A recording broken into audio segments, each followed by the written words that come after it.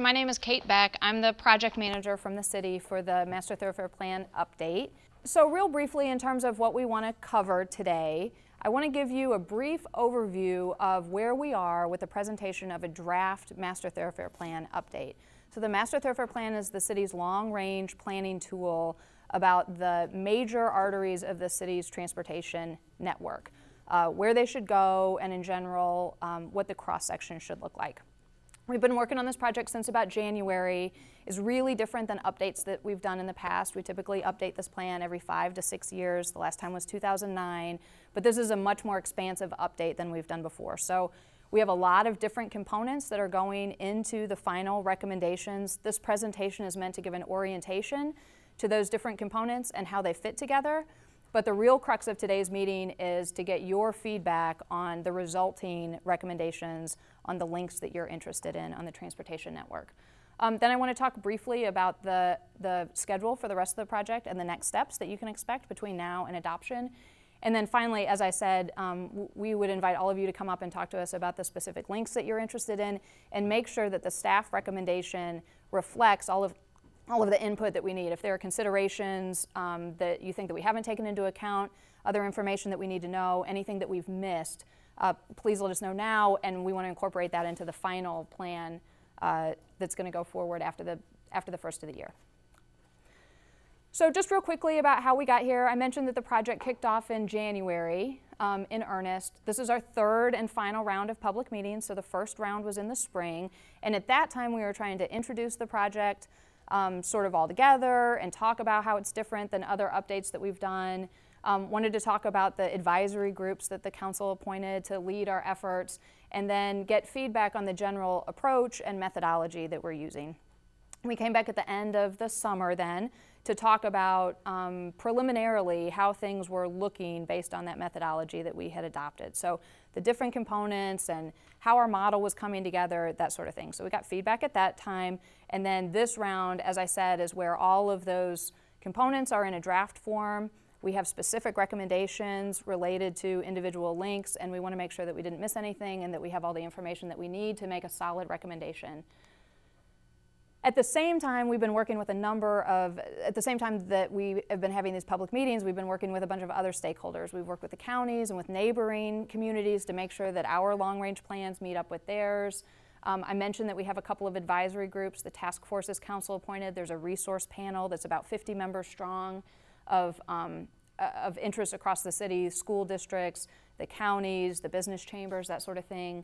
Um, we've been meeting regularly with TxDOT and the T. Actually, the T has a representative here today, and we have a board about their um, master transportation plan as well, uh, et cetera. So uh, one of the things that we've, that we've been working on, I mentioned that this is a more comprehensive update, and we wanted to expand the way we think about our transportation network. Previously, it's really been focused only on individual automobiles and vehicular transportation. And so and, and also, we have had three roadway types for major roadways, and the cross section of those has been the same regardless of where they are in the community. And so, with this, the vision for this update is that we recognize that uh, we want to support other modes of travel. We want to support transit. We want to make sure that pedestrians feel safe. We want to make sure that people can get around on bicycles where it's appropriate.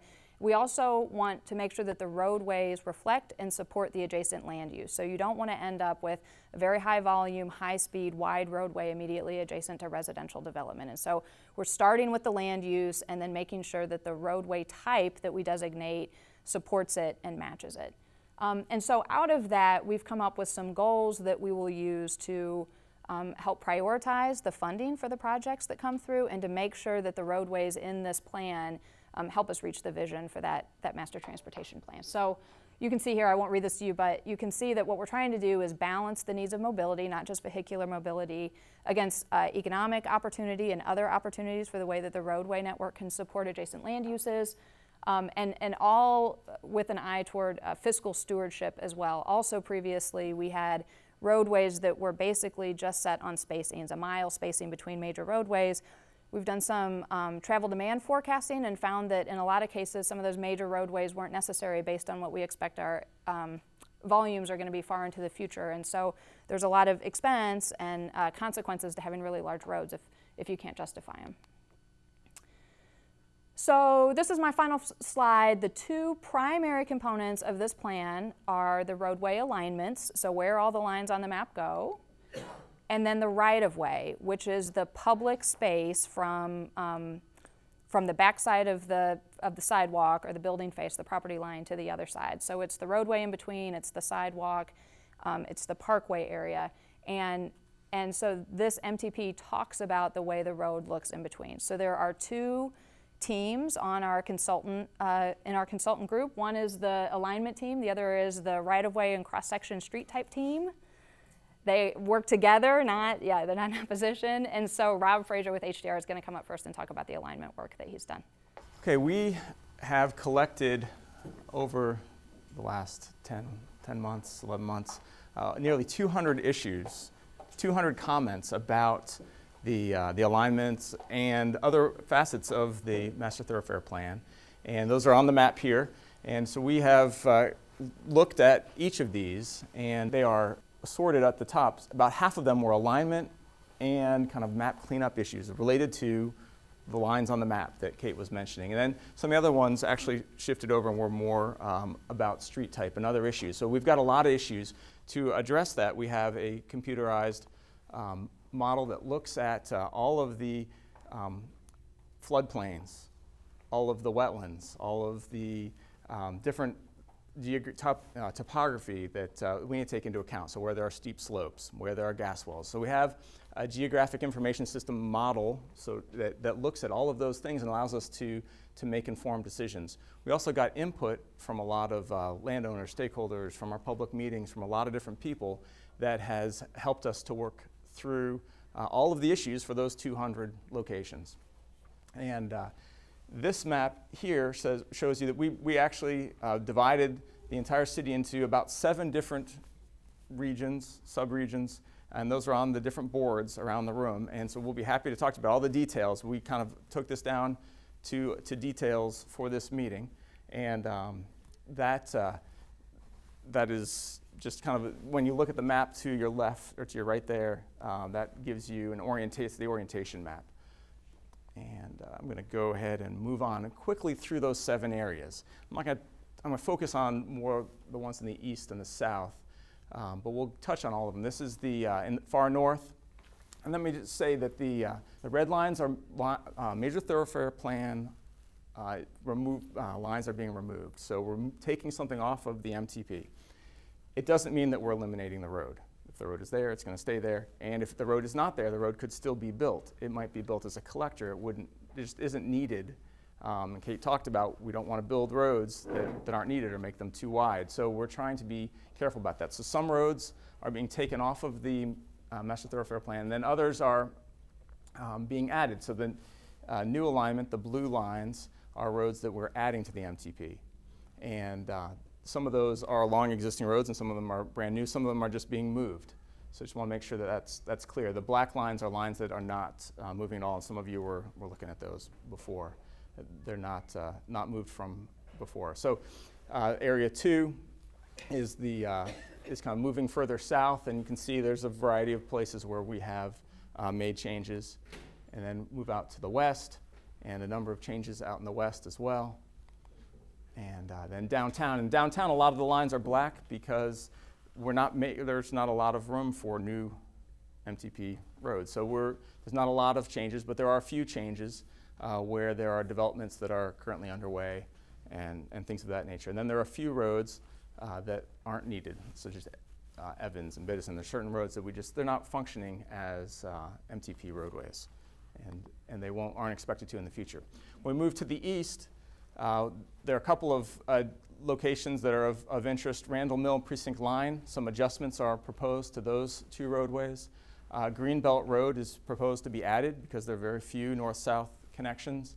And, um, and so there are some changes. And again, I encourage you to, if you haven't already, go look at the boards and we can talk with you about the details of those changes. Uh, let's move to the south. This is the southwest. There are a few, uh, few changes in the southwest. And I'm going to wrap up in the southeast. Uh, we have coordinated with all of the different municipalities. So we've coordinated with Burleson, Mansfield, to make sure that the MTP um, roads that we are putting forth match what, what they're putting forth. Everything is coordinated. So you'll see some uh, different connection, uh, connections with each of those communities. And so that's our, our coordination with them. So there's a lot more detail that we could go into. I just want to give you a high level overview and uh, turn it over to Christopher to talk about the second half. Thanks, Rob. Yeah, I'm Christopher Kinzel, also with HDR. I'm part of the the B team. Or, um, so uh, I didn't realize we we were sort of you know head to head. So and you got to score us at the end, I guess. Um, so Rob basically talked about the boards that are in the back half. A lot of you are very interested in those boards because they they show lines as to where these roads are going to go. Uh, my boards are the more colory ones here that, that talk a little bit about, um, in the general category of right of way, how wide would the roads be and, and how do we determine that? And so that, that's what all these boards were about. Um, so we've, we've been to you a couple times uh, in different public meetings, and so early on in the process, we defined, we defined these five types of street, and Kate was talking about important, it's important that a, where a street is uh, helps define what kind of street it is, the context, complete streets. And so there's a lot more definition here of what these different types are. You can ask, ask me or anyone about them uh, as, you, uh, as you look at them. But we have these five different types that go in, into the, that are appropriate in different areas. Like a, a neighborhood connector is typically near a residential area, not necessarily a, usually a street running through uh, with houses on or anything, but one that's in the area serving it, connecting a neighborhood to services and things like that. Um, and so you can see more of that on, on those boards.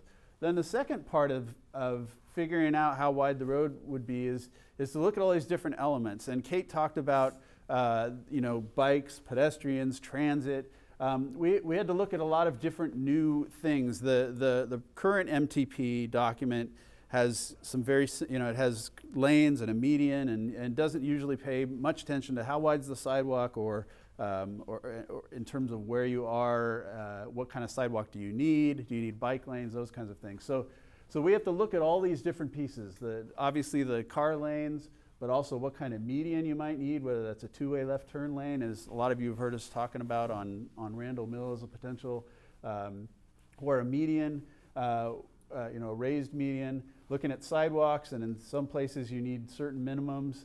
Uh, transit, transit lanes, Kate mentioned there's a, there's a board back there that's the T's plan, and we're kind of coordinating with them on uh, how this will all come together. Uh, in some areas you need parking, and so what are the widths there?